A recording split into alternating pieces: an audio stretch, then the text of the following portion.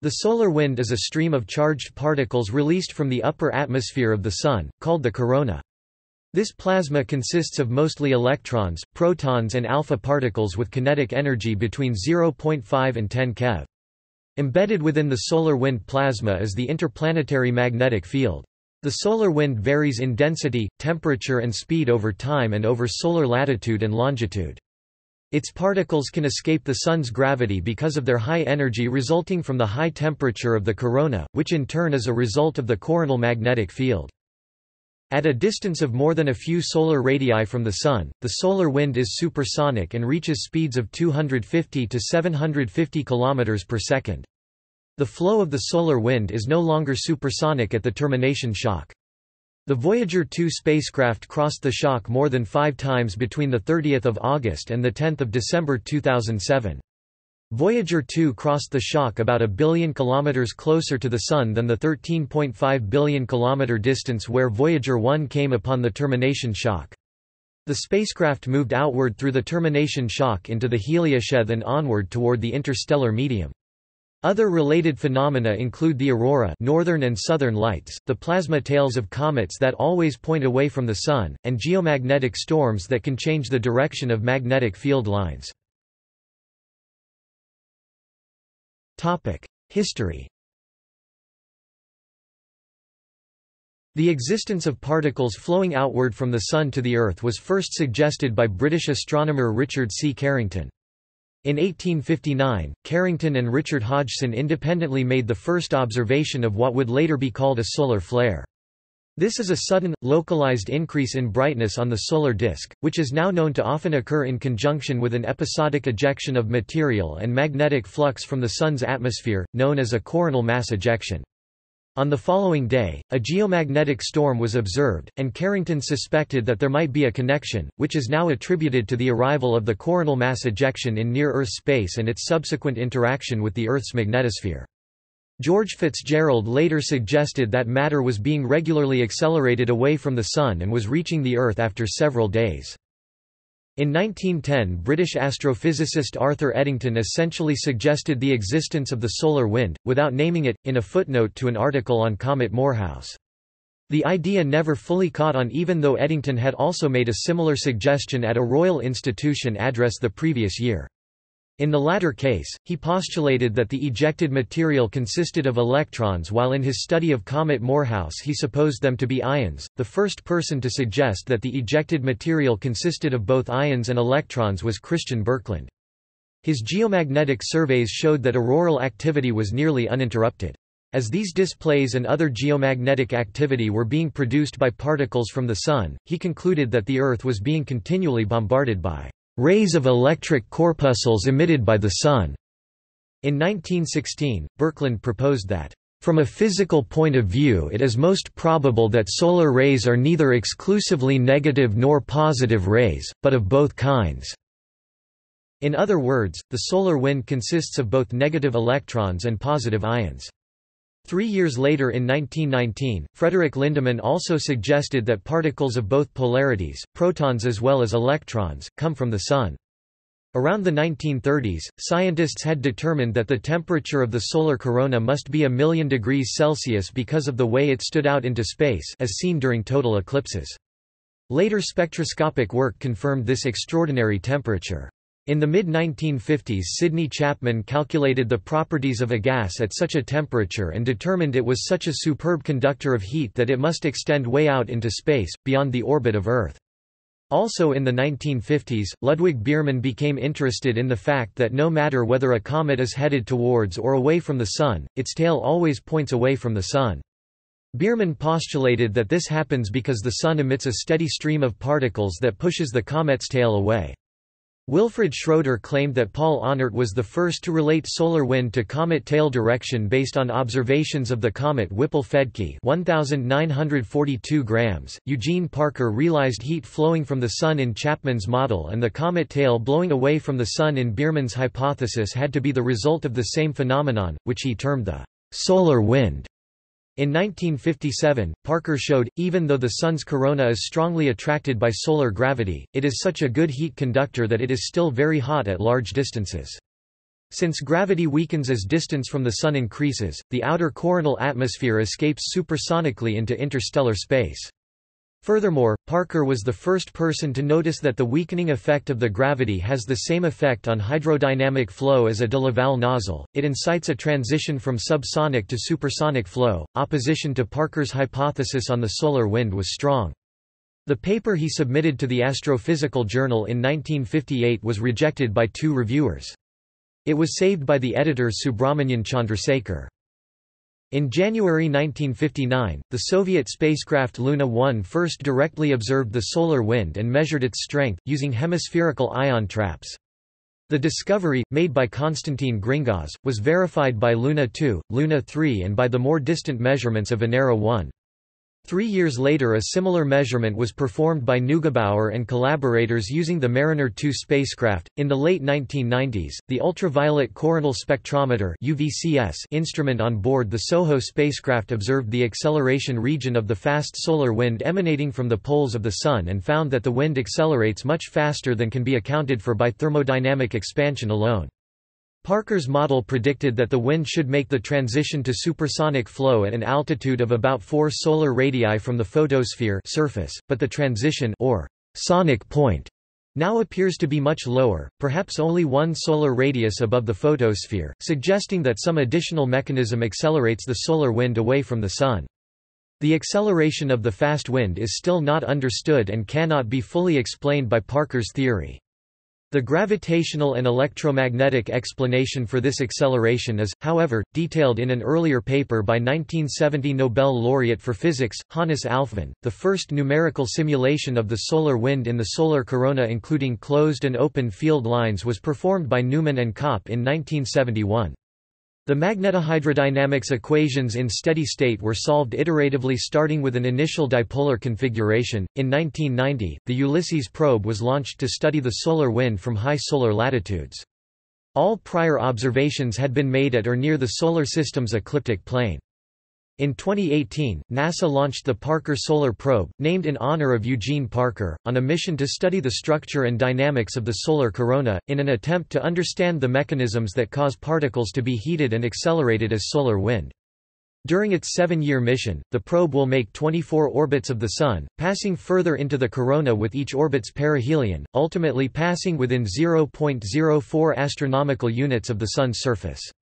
It is the first NASA spacecraft named for a living person, and Parker himself, at age 91, was on hand to observe the launch. Acceleration While early models of the solar wind relied primarily on thermal energy to accelerate the material, by the 1960s it was clear that thermal acceleration alone cannot account for the high speed of solar wind. An additional unknown acceleration mechanism is required and likely relates to magnetic fields in the solar atmosphere. The Sun's corona, or extended outer layer, is a region of plasma that is heated to over a million Kelvin. As a result of thermal collisions, the particles within the inner corona have a range and distribution of speeds described by a Maxwellian distribution. The mean velocity of these particles is about 145 km per second, which is well below the solar escape velocity of 618 km per second. However, a few of the particles achieve energies sufficient to reach the terminal velocity of 400 km per second, which allows them to feed the solar wind. At the same temperature, electrons, due to their much smaller mass, reach escape velocity and build up an electric field that further accelerates ions away from the Sun. The total number of particles carried away from the Sun by the solar wind is about 1.3 times 1036 per seconds. Thus, the total mass loss each year is about 2 to 3 times 10^-14 solar masses, or about 1.3 to 1.9 million tons per second. This is equivalent to losing a mass equal to the Earth every 150 million years. However, only about 0.01% of the Sun's total mass has been lost through the solar wind. Other stars have much stronger stellar winds that result in significantly higher mass loss rates. Topic: Properties and structure. Topic: Fast and slow solar wind.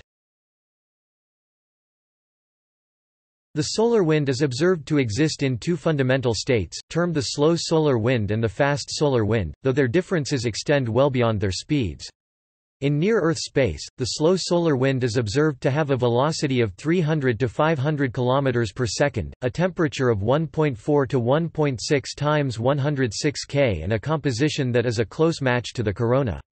By contrast, the fast solar wind has a typical velocity of 750 km per second, a temperature of 8 times 105 K and it nearly matches the composition of the Sun's photosphere. The slow solar wind is twice as dense and more variable in nature than the fast solar wind. The slow solar wind appears to originate from a region around the Sun's equatorial belt that is known as the streamer belt where coronal streamers are produced by magnetic flux open to the heliosphere draping over closed magnetic loops. The exact coronal structures involved in slow solar wind formation and the method by which the material is released is still under debate. Observations of the Sun between 1996 and 2001 showed that emission of the slow solar wind occurred at latitudes up to 30 to 35 degrees during the solar minimum the period of lowest solar activity, then expanded toward the poles as the solar cycle approached maximum. At solar maximum, the poles were also emitting a slow solar wind. The fast solar wind originates from coronal holes, which are funnel-like regions of open field lines in the Sun's magnetic field. Such open lines are particularly prevalent around the Sun's magnetic poles. The plasma source is small magnetic fields created by convection cells in the solar atmosphere. These fields confine the plasma and transport it into the narrow necks of the coronal funnels, which are located only 20,000 km above the photosphere. The plasma is released into the funnel when these magnetic field lines reconnect. Pressure The wind exerts a pressure at 1 astronomical unit typically in the range of 1 to 6 nanopascals 1 to 6 times 10^-9 n per square meter, although it can readily vary outside that range. The ram pressure is a function of wind speed and density. The formula is P equals MP asterisk N asterisk V two equals one point six seven two six times ten minus six asterisk N asterisk V two where MP is the proton mass, pressure P is in NPa nanopascals, N is the density in particles per cc and V is the speed in kilometer per second of the solar wind. Topic: Coronal mass ejection. Both the fast and slow solar wind can be interrupted by large, fast-moving bursts of plasma called interplanetary coronal mass ejections, or ICMEs. ICMEs are the interplanetary manifestation of solar coronal mass ejections, which are caused by release of magnetic energy at the Sun. CMEs are often called solar storms or space storms in the popular media. They are sometimes, but not always, associated with solar flares, which are another manifestation of magnetic energy release at the Sun. ICMEs cause shock waves in the thin plasma of the heliosphere, launching electromagnetic waves and accelerating particles mostly protons and electrons to form showers of ionizing radiation that precede the CME. When a CME impacts the Earth's magnetosphere, it temporarily deforms the Earth's magnetic field, changing the direction of compass needles and inducing large electrical ground currents in Earth itself. This is called a geomagnetic storm and it is a global phenomenon. CME impacts can induce magnetic reconnection in Earth's magnetotail the midnight side of the magnetosphere. This launches protons and electrons downward toward Earth's atmosphere, where they form the aurora. ICMEs are not the only cause of space weather. Different patches on the Sun are known to give rise to slightly different speeds and densities of wind depending on local conditions. In isolation, each of these different wind streams would form a spiral with a slightly different angle, with fast-moving streams moving out more directly and slow-moving streams wrapping more around the Sun. Fast-moving streams tend to overtake slower streams that originate westward of them on the Sun, forming turbulent co-rotating interaction regions that give rise to wave motions and accelerated particles, and that affect Earth's magnetosphere in the same way as, but more gently than, CMEs. Solar system effects Over the Sun's lifetime, the interaction of its surface layers with the escaping solar wind has significantly decreased its surface rotation rate. The wind is considered responsible for comets' tails, along with the Sun's radiation. The solar wind contributes to fluctuations in celestial radio waves observed on the Earth, through an effect called interplanetary scintillation. Magnetospheres Where the solar wind intersects with a planet that has a well-developed magnetic field such as Earth, Jupiter or Saturn, the particles are deflected by the Lorentz force. This region, known as the magnetosphere, causes the particles to travel around the planet rather than bombarding the atmosphere or surface. The magnetosphere is roughly shaped like a hemisphere on the side facing the Sun, then is drawn out in a long wake on the opposite side. The boundary of this region is called the magnetopause, and some of the particles are able to penetrate the magnetosphere through this region by partial reconnection of the magnetic field lines. The solar wind is responsible for the overall shape of Earth's magnetosphere. Fluctuations in its speed, density, direction, and entrained magnetic field strongly affect Earth's local space environment. For example, the levels of ionizing radiation and radio interference can vary by factors of hundreds to thousands, and the shape and location of the magnetopause and bow shock wave upstream of it can change by several Earth radii, exposing geosynchronous satellites to the direct solar wind. These phenomena are collectively called space weather. From the European Space Agency's cluster mission, a new study has taken place that proposes that it is easier for the solar wind to infiltrate the magnetosphere than previously believed. A group of scientists directly observed the existence of certain waves in the solar wind that were not expected. A recent study shows that these waves enable incoming charged particles of solar wind to breach the magnetopause. This suggests that the magnetic bubble forms more as a filter than a continuous barrier. This latest discovery occurred through the distinctive arrangement of the four identical cluster spacecraft, which fly in a controlled configuration through near-Earth space. As they sweep from the magnetosphere into interplanetary space and back again, the fleet provides exceptional three-dimensional insights on the phenomena that connect the Sun to Earth. The research characterized variances in formation of the interplanetary magnetic field (IMF), largely influenced by Kelvin-Helmholtz instability, which occur at the interface of two fluids as a result of differences in thickness and numerous other characteristics of the boundary layer. Experts believe that this was the first occasion that the appearance of Kelvin-Helmholtz waves at the magnetopause had been displayed at high latitude downward orientation of the IMF. These waves are being seen in unforeseen places under solar wind conditions that were formerly believed to be undesired for their generation. These discoveries show how Earth's magnetosphere can be penetrated by solar particles under specific IMF circumstances.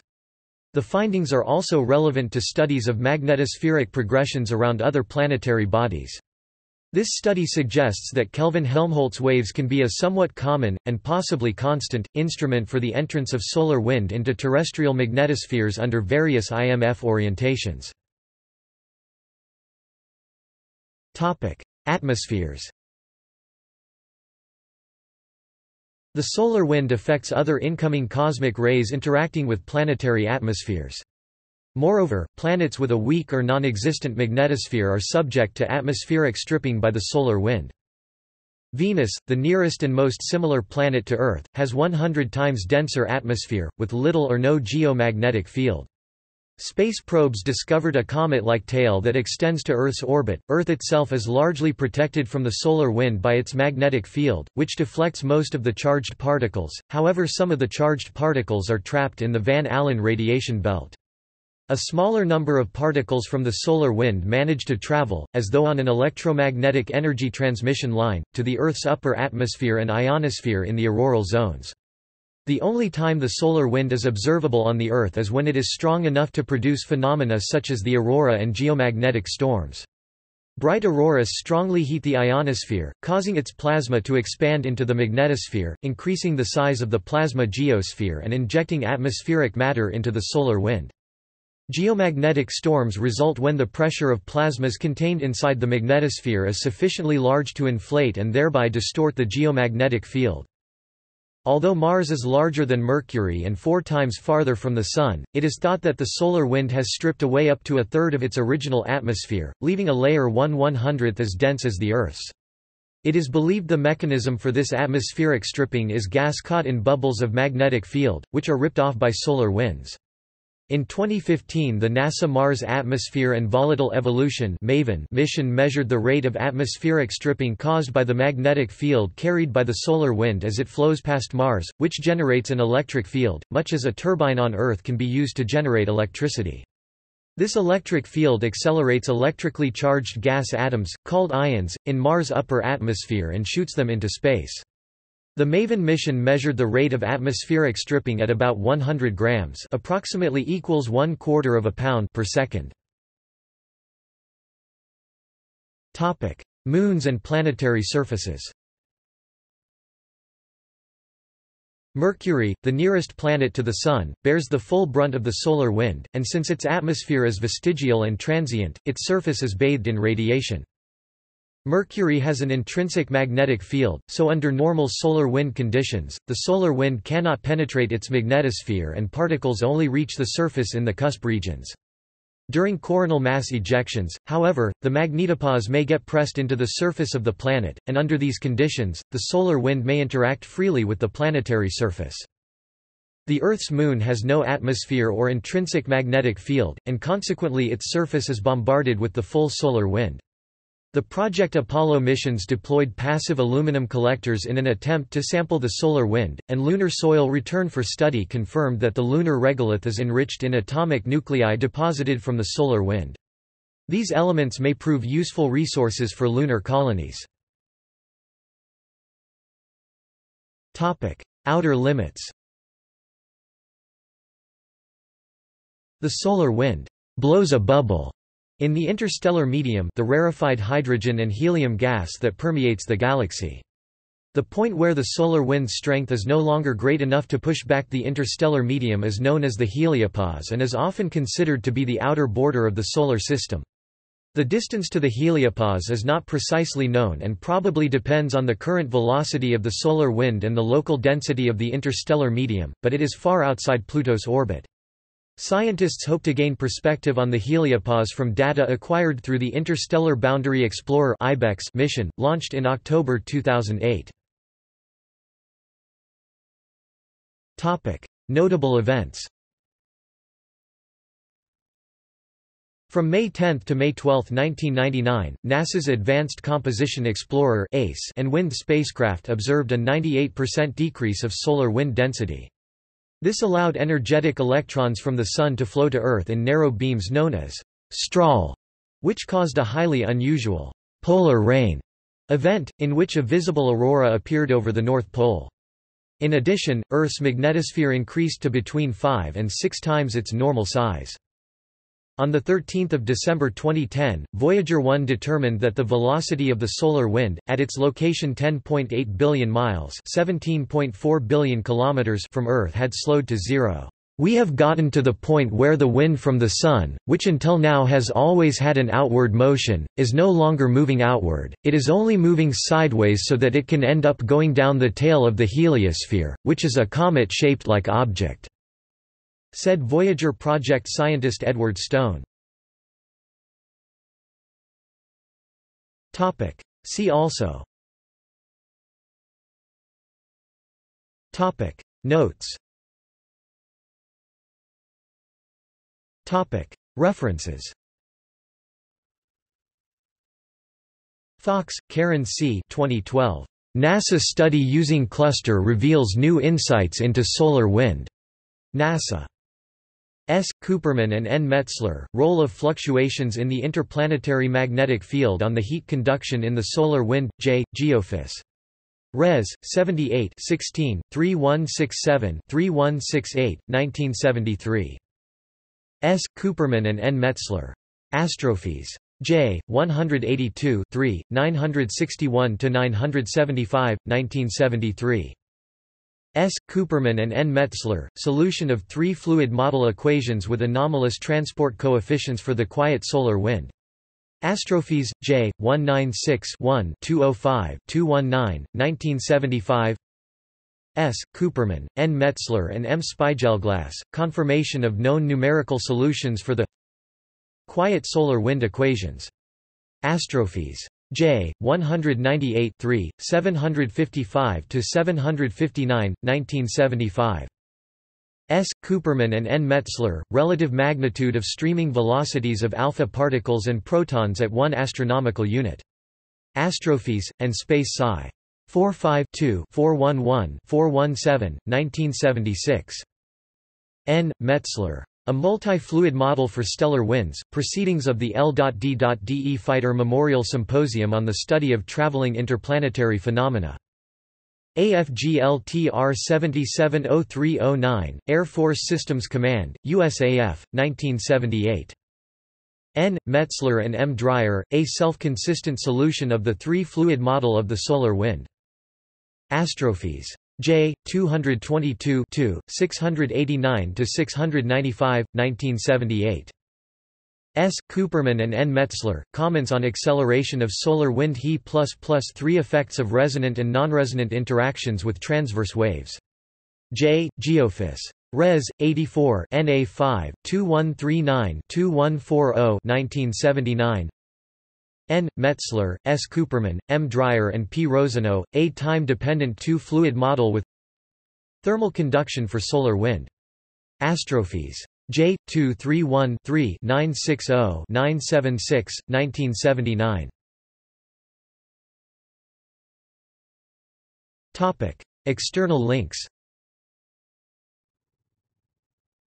Real-time plots of solar wind activity from the Advanced Composition Explorer